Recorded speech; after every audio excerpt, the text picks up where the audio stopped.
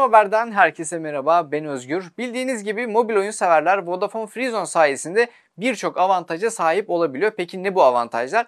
Mesela 20 GB'dan başlayan internet tarifelerine sahip olabiliyorlar. Aynı zamanda çeşitli mobil oyun ve popüler mobil oyunlar ve mobil uygulamalarda internet yemeyen paketlere sahip olabiliyorlar. Yani kısaca mobil tarafta Freezone gayet güzel avantajlar sunuyor. Ama bugünkü videomuzun konusu mobil oyuncular için değil, PC oyuncular için çünkü Vodafone Freezone PC oyuncular için çok güzel bir kampanya imza attı. PC Game Pass bildiğiniz gibi Microsoft'un PC sahiplerine sunduğu bir abonelik servisi. Bu servisin içerisinde yüzden fazla oyun bulunuyor. Peki Vodafone Freezone'un burada sunduğu avantaj ne? Avantaj şu şekilde Vodafone Freezone'lara ilk 3 ay ücretsiz PC Game Pass hediye ediliyor. Ardından ise yalnızca 29.99'luk bir fiyatı var. Biz de donanım haber olarak Vodafone Freezone ile PC Game Pass'te bu hafta isimli bir seriye başlamak istedik. Peki bu seride neler olacak? PC Game Pass'in ne olduğunu yakından bakacağız ve içindeki bazı oyunlara, önemli oyunlara birlikte oynayacağız. Serimizin ilk videosunun konuğu da Forza Horizon 5 olacak. İsterseniz hız kaybetmeden oyunumuza geçelim.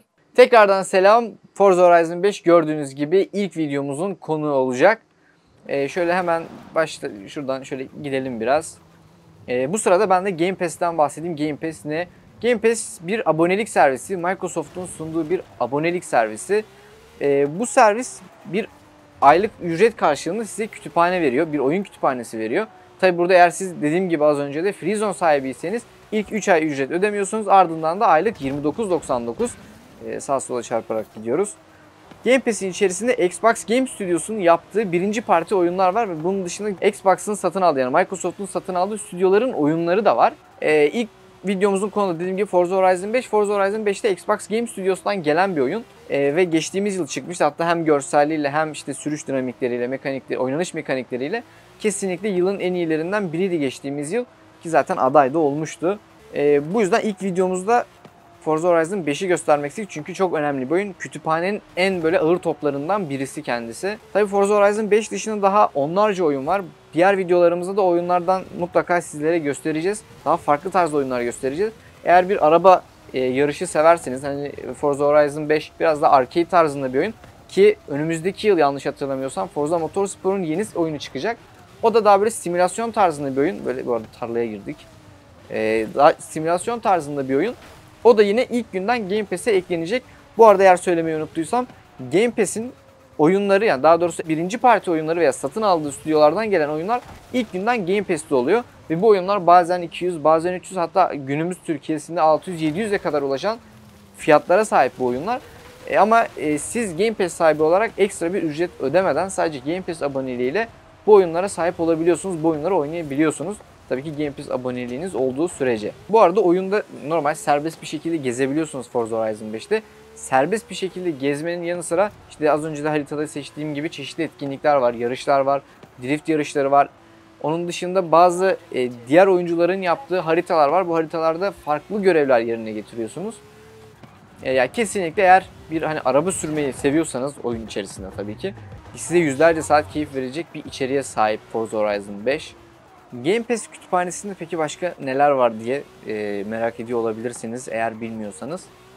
Game Pass kütüphanesinde mesela hani aklıma gelen bu en büyük oyunlardan saymak gerekirse mesela Halo Infinite var mesela ya da Halo serisinin tamamı var.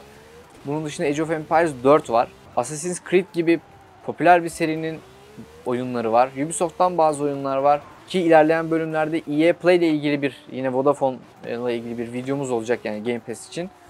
Orada da mesela FIFA 22 oynayacağız. E, FIFA 22 videosunda EA Play'den bahsedeceğiz ama öncesinde ufakça bahsetmek gerekirse EA Play'de aynı Game Pass gibi bir uygulama ama Game Pass ile bağlı. Ha, bu arada yarışa nasıl Enter'la giriyoruz. Enter'la hemen yarışımıza girelim. Tekili oynayalım. E, sahil yarışı evet. Hadi bununla yarışalım. Gördüğünüz gibi güzel bir araç. Şu an zaten ekrandaki aracın üstündeki yansımalardan da grafiklerin ne kadar iyi olduğunu görebiliyorsunuz. Araç da bayağı büyük bu arada. Yani yolu görmek biraz zor.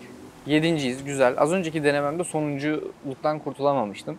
O yüzden şu an yedinci olmak bence gayet güzel. Evet biraz yoldan çıktık ama bence iyi. Dördüncülüğe kadar yükseldim. Ee, benim için büyük bir başarı. Ee, siz de Freezone sahibi olarak Game Pass'i ilk 3 ay ücretsiz ardından 29.99'a e, Forza Horizon 5 oynayabilirsiniz Game Pass kütüphanesinden. Daha onlarca, yüzlerce oyunun arasında. Dediğim gibi aslında yani büyük oyunlar var evet bu oyunların çoğunu biliyorsunuzdur. Forza Horizon 5 gibi, Halo Infinite gibi ama küçük oyunlar da var. Bağımsız yapımlar da var ve bence eğer mesela benim gibi çok fazla oyun oynayan birisiyseniz büyük oyunları zaten kaçırmıyorsunuzdur. Mutlaka görüyorsunuzdur, oynuyorsunuzdur ama bazı bağımsız yapımlar ne yazık ki gözden kaçabiliyor. Game Pass'te bu noktada hani size çok güzel bir aslında avantaj sunuyor. Çünkü bazı bağımsız oyunlar ne yazık ki hani atıyorum ilk yarım saat, bir saat çok güzel bir deneyim sunarken sonrasında e, o deneyimi kaybediyor. O hani yenilikçiliği kaybediyor ne yazık ki. Yani biraz tek düze bir oyun oluyor. Ama Game Pass'te hani oyun satın almadığınız için sonuçta tüm oyunlara erişim hakkınız var. Yani kütüphanedeki tüm oyunlara erişim hakkınız var. Bu yüzden rahat bir şekilde hani istediği boş bir vaktinizde bilgisayarınıza 4-5 tane bağımsız oyun indirip sonra onları e, sırayla oynayabilirsiniz. Hem farklı oyunlar keşfedersiniz. Hem de dediğim gibi ekstra hiçbir ücret ödemek zorunda değilsiniz. E, %90'ı üçüncü olarak tamamlayacağım galiba ya da son düzlükte geçer miyim birini bilmiyorum. Evet yarışımızın da sonuna geldik. Üçüncü olarak tamamladım yarışı. Bence gayet güzeldi. En azından benim için. Bir de ufak bir toprak yarışı yapalım. Sonra videomuzun yavaş yavaş sonuna gelelim. Toprak yarışı arazide yine çok güçlü bir araç. Ee, 8 idi bu. Hadi bakalım bunu deneyelim. Game Pass dediğim gibi aslında gerçekten özellikle ülkemizde oyun fiyatlarının bu kadar arttığı bir dönemde yani bulunmaz bir nimet. E, Vodafone'un da zaten hani mobil tarafta eğer kullananlar biliyordur. İşte Wild Rift gibi, PUBG gibi oyunlarda hem düşük bir e, gecikme süresi sunuyor hem de internetten yemiyor. Aynı zamanda mesela oyun severlerin en çok kullandığı işte Discord gibi veya Twitch gibi uygulamalar da e, internet yemiyor. Tabii Freezone sahipleri için sadece. E, bu yüzden bir de bunların yani hani mobil tarafta zaten oyuncular için gayet güzel bir fırsat, güzel fırsatlar sunarken bir yandan yarışa başlamayı unuttum bir yandan. Bir yandan da PC tarafında böyle bir e, hani avantajı sağlıyor olması, böyle bir kampanya, güzel bir kampanya imza atmış olması gerçekten beni çok sevindirdi.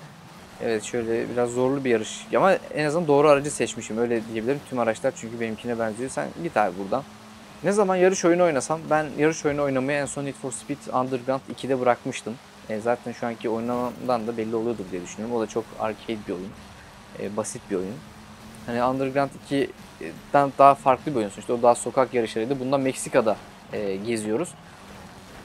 Hani bu oyun duyurulduğundan bu yana bu arada beni gerçekten görselliğiyle etkileyen bir oyun oldu ki ben dediğim gibi çok fazla yarış oyunu oynayan birisi değilim.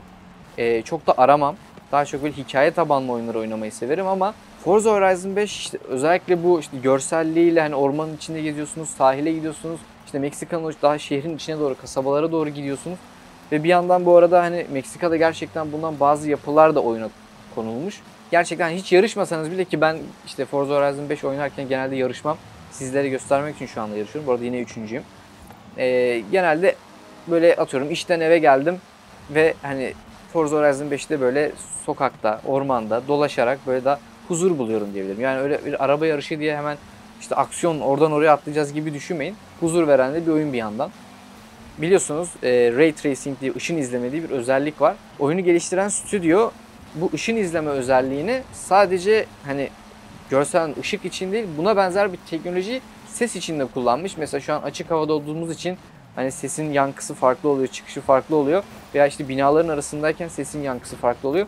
Bunun üzerinde de özellikle çalışılmış. Hani böyle bir kulaklıkla oynama imkanınız varsa çok daha iyi olur diyebilirim. Ben şu abiyle artık aramızdaki bağlantıyı bir yola doğru girersem iyi olacak sanırım. Bu arada sizlere Game Pass'i yani tamamıyla anlatabildiğimi düşünüyorum. Önümüzdeki haftalarda zaten e, diğer hani Game Pass oyunlarımıza devam edeceğiz bu seriye. Mini bir seri olacak bu. E, Vodafone Freezone'un bu bu taraftaki kampanyasının avantajını hani Game Pass üzerinden sizlere göstermek istiyoruz. İlerleyen süreçte de yine hani e, platformda bulunan yani bu Game Pass servisinde bulunan böyle büyük baş oyunlara bakacağız. Yani büyük toplara bakacağız. Zaten e, kütüphanede dediğim gibi hani çok fazla oyun var. Tüm oyunları göstermeye çalışsak zaten 4-5 yıl anca biter bu seri diyebilirim ki onda bile bitmez büyük ihtimalle. Çünkü her ay e, aşağı yukarı 10 farklı oyun ekleniyor her ay en az hatta öyle diyeyim. Bu arada kütüphaneden bazı oyunlarda kaldırılıyor elbette. E, ama dediğim gibi hani gelen oyunlar o tarafı kapatıyor ki umarım geçti saymıştır. Hayır geçti saymamış.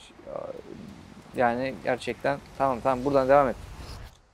Ee, buradan devam et. Teşekkürler. Ha, bir de böyle bir güzelliği var. Yani, geri sarma gibi. E, finale doğru yaklaşıyorum diye tahmin ediyorum. Evet. Bu, bu sefer birincilikle bitirdim.